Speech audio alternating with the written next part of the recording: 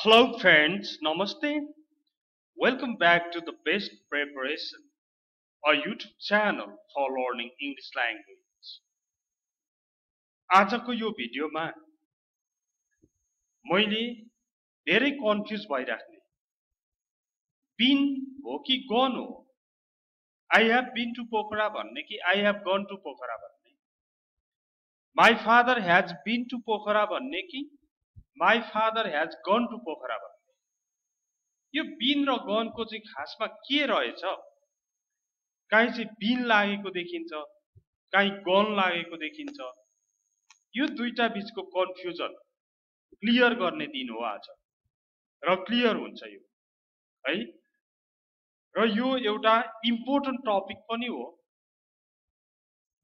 होइन?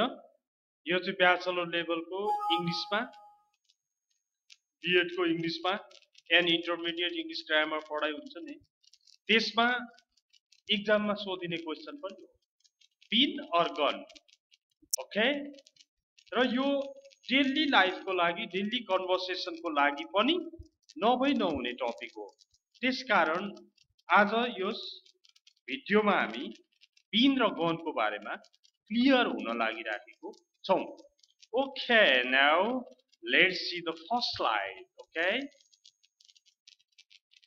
uh, first slide gone to gone to भनेको you have moved or traveled to a place तपाईँ कुनै ठाउँमा जानु भएको छ है you have moved or traveled to a place कुनै ठाउँमा जानुभएको छ तपाईँ। एन्ड यहाँ के लेखेको छ फेरि? And you're still in that place र त्यही ठाउँमा हुनुहुन्छ अझै। You have not you have return तपाईँ त्यहाँबाट फिर फिर्ता आउनु भएको छैन। त्यसै ठाउँमा हुनुहुन्छ। त्यो अवस्थामा गन्टु भनेको रहेछ। कुरा बुझ्नु पर्यो यसमा।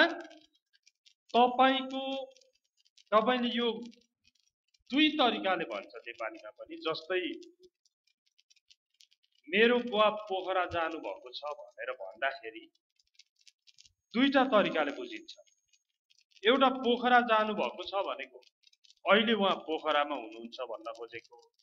अर्को चाहिँ फेरि मेरो बुवा पोखरा जानुभएको छ भनेको चाहिँ उहाँ जानुभएको छ क्या पहिला? अहिले त यहीँ हुनुहुन्छ। उहाँ जानुभएको छ। यसरी दुई खालको कुरा हुने भएकोले नै गन टु र बिन टुको प्रयोग भएको हो। ओके? अब यो गन टु भनेको चाहिँ काहीँ गएको अवस्था र यहाँ नभएको अवस्थामा गन टु प्रयोग गरिन्छ। तपाईँले इक्जाम्पल हेरेपछि थाहा हुन्छ कि Hari has gone to Australia he is in Australia now Hari has gone to Australia Hari Australia गएको छ। भनेपछि अहिले हरि कहाँ छ? अस्ट्रेलियामै छ।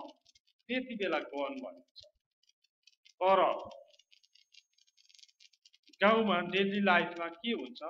हाम्रो डेली लाइफमा भने अस्ट्रेलियाको कुरा कसैले सोध्यो भने हरि गएको छ त्यहाँ। अस्ट्रेलिया धेरै पल्ट गएको छ। उसलाई भेटेर सोध न फेरि गएको छ त गएको छ नै भनियो। तर नजानेर Hari has gone to Australia भन्यो भने चाहिँ के बुझिन्छ त अर्थ भन्दाखेरि हरि अहिले यहाँ छैन। अस्ट्रेलियामा छ भन्ने बुझिन्छ। गन टु भनेको वहीँ गएकै अवस्थामा फिर्ता नआएको त्यहाँबाट रिटर्न नहुन्जेलसम्म गन टु भनिँदो रहेछ। Hari has gone to Australia कहिलेसम्म भनिन्छ भने हरि अस्ट्रेलियाबाट यहाँ नआएसम्म भनिन्छ। हरि अस्ट्रेलिया गएको छ। Hari is in Australia now त्यसको मतलब। Number two been to been to भनेको you have travel to a place तपाईँ कहीँ जानुभएको छ। एउटै छ यहाँ त ट्राभल छ यहाँ पनि ट्राभल नै छ। अब यहाँ बुझिन्छ and you are not you are not in that place any more you have return गएर फिर्केर आइसकेपछि बिन्टु लाग्दो रहेछ। गएर आएको अवस्था बिन्टु वहीँ भएको अवस्था कुन ठाउँमा गएको हो? त्यही भएको अवस्था गन्टु। तर यता रिटर्न भइसकेको अवस्था चाहिँ बिन्टु। अब Hari has been to Australia many time Hari धेरैपल्ट अस्ट्रेलिया गएको छ। He is back here now अहिले यहीँ भएको बेला चाहिँ यो कुरा भनिन्छ है। तर हरि अस्ट्रेलियामै छ भने Hari has gone to Australia. तर अस्ट्रेलियाबाट आयो। हरि अस्ट्रेलिया गएको छ। उसलाई अस्ट्रेलियाको बारेमा निकै थाहा होला। Hari has been to Australia. Australia गएको छ। भनेको ऊ पहिला पहिला अस्ट्रेलिया गएको छ। गएको छ। ओके? यो दुईटा बिचमा फरक थाहा हुनु पर्यो Hari has gone to Australia भनेको अहिले यहाँ छैन यो गाउँमै छैन हरि अस्ट्रेलिया गएको छ। तर Hari has been to Australia भनेको चाहिँ हरि पहिला अस्ट्रेलिया गएको छ। उसलाई अस्ट्रेलिया गएको अनुभव छ है भन्ने अर्थमा हो। Okay now let's see more examples अरू अरू इक्जाम्पल्सहरू हेरिसक्दा यो क्लियर हुन्छ। है?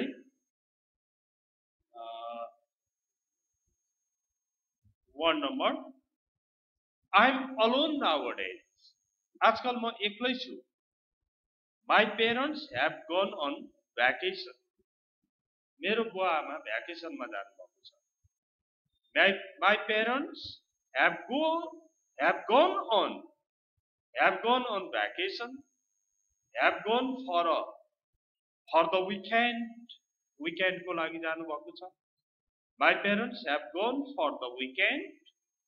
My parents have gone on vacation. बिदा मनाउन my parents have gone on holiday. बिदा मनाउन जानुभएको छ यो आइएम अलोन नाउ भनेपछि त अहिले आउनु भएकै छैन त्यही भएकोले गन लाग्यो my parents have gone on vacation okay have gone on vacation अब यहाँ two number Sabi says she has been to the USA but I don't believe her Sabi says she has been to the USA सबै यहीँ छ। उसले चाहिँ के भन्ने गर्छ भने म युएसए गएकी छु भन्दै गर्छ कहिलेकाहीँ बट आई डोन्ट बिलिभ ह तर म उनलाई विश्वास गर्दिनँ यो कुरामा। Sabi says she has been to the USA but I don't believe her भनेको सबै अहिले युएसएमा भएको त होइन। यहीँ भएको यहीँ भएको बेला सबैले भन्छ I have been to the USA भनिदिन्छु म युएसए गएको छु भनिदिन्छु बट आई डोन्ट बिलिभ ह तर म उनलाई विश्वास गर्दिनँ।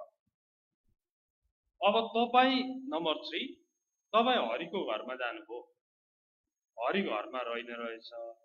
अनि तपाईँले उसलाई सेलफोनमा मोबाइल फोनमा फोन गर्नुभयो।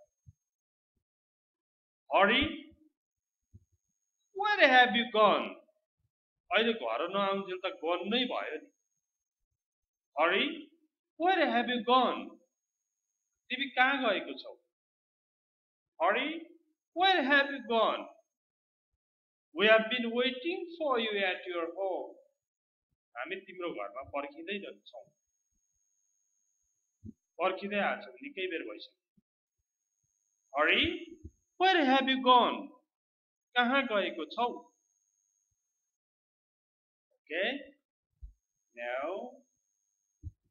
Let's see more. अब तपाईँ चाहिँ मुम्बई जानु परेछ अब मुम्बईको मुम्बई जानुपर्ने के कसो छ भन्दै एकजनाले सोध्यो। Ram knows about Mumbai very well. रामले मुम्बईको बारेमा धेरै राम्ररी जान्दछ। बिन दियर मेनी टाइम्स ऊ त्यहाँ धेरैचोटि गएको छ। भनेको अहिले राम मुम्बईमा भएको त होइन नि। यो त आइसकेको अवस्था भएरै बिन लागेको हो। Ram knows the city very well. रामले त्यो सहरको बारेमा राम्ररी जान्दछ। He has been there many times ऊ त्यहाँ धेरैपल्ट गएको छ। Okay sorry number five I haven't seen Krishna. I haven't seen Krishna for, for a long time. मैले निकै दिनदेखि कृष्णलाई देखेका छुइनँ। Where is in our days ऊ आजकल कहाँ छ? He has gone to Canada to participate in a seminar. ऊ क्यानाडा एउटा सेमिनारमा भाग लिन गएको छ। भनेको अहिले हरि हरि कृष्ण कहाँ छ? क्यानाडामा छ। त्यही भएर गन लाग्यो। I haven't seen Krishna for a long time as ऊ कहाँ छ? अब अर्को मान्छेले भन्यो he has gone to Canada to participate in a seminar ऊ क्यानाडामा एउटा सेमिनारमा भाग लिने गएको छ। क्यानाडातिर गएको छ। त्यो चाहिँ हरि क्यानाडामै भएको कृष्ण क्यानाडामै भएको कुरा हो अब यहाँ कसैले भन्दैछ my children have gone on vacation my children have gone on vacation मेरो बच्चाहरू बिदामा गएको छन्। They should return next week अर्को हप्ता आउँछ। अर्को हप्ता फर्किनुपर्छ। My children have gone on vacation they should return next week okay यो चाहिँ गन र पिनको अब तपाईँले पनि गन र पिनको प्रयोगमा कन्फ्युज हुनु यो भिडियोलाई फेरि रिपिट गर्नुहोस्। यो एउटा इम्पोर्टेन्ट टपिक हो।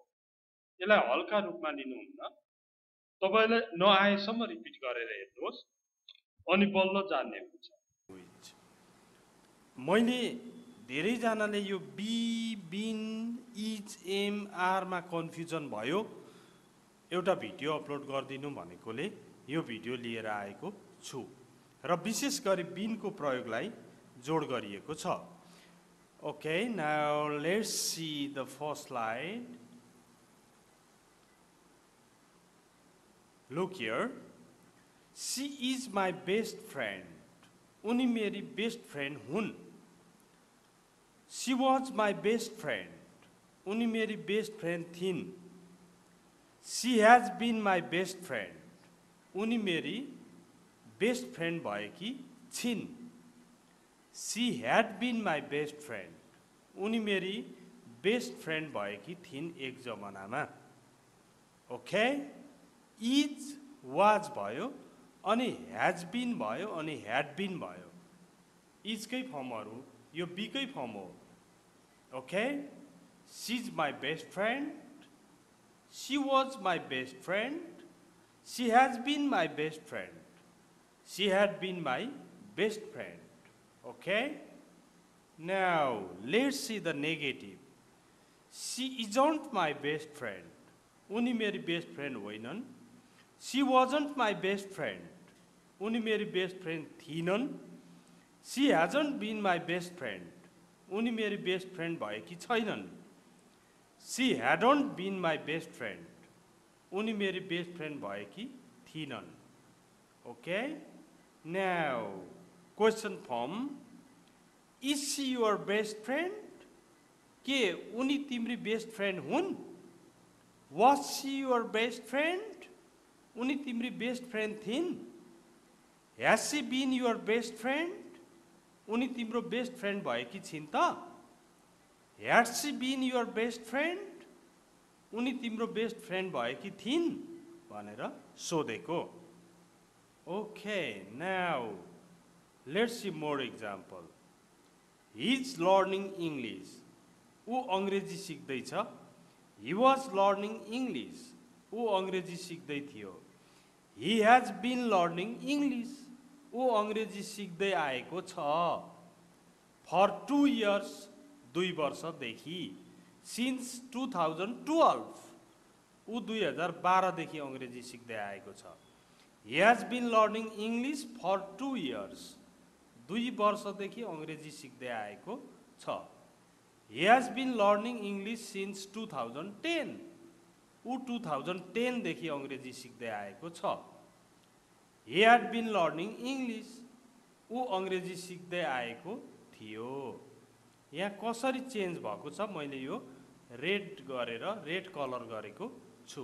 Okay now negatives he is not learning English ऊ अङ्ग्रेजी सिक्दै छैन। हि वाजन्ट लर्निङ इङ्ग्लिस ऊ अङ्ग्रेजी सिक्दै थिएन। He hasn't been learning English ऊ अङ्ग्रेजी सिक्दै आएको छैन। He hadn't been learning English ऊ अङ्ग्रेजी सिक्दै आएको थिएन। Okay now questions is he learning English ऊ अङ्ग्रेजी सिक्दैछ वाज हि लर्निङ इङ्ग्लिस ऊ अङ्ग्रेजी सिक्दै थियो त। ह्याज बिन लर्निङ इङ्ग्लिस ऊ अङ्ग्रेजी सिक्दै आएको छ त। Had he been learning English ऊ अङ्ग्रेजी सिक्दै आएको थियो त। Okay these are different usage of is am are was were and been been भनेको बी फर्स्ट फर्म भयो भने वाज वेयर सेकेन्ड फर्म भयो। अनि यो बिन भनेको चाहिँ थर्ड फर्म भयो। ओके बिन भएको गएकोलाई बिन भनिन्छ। Thanks for watching this video good luck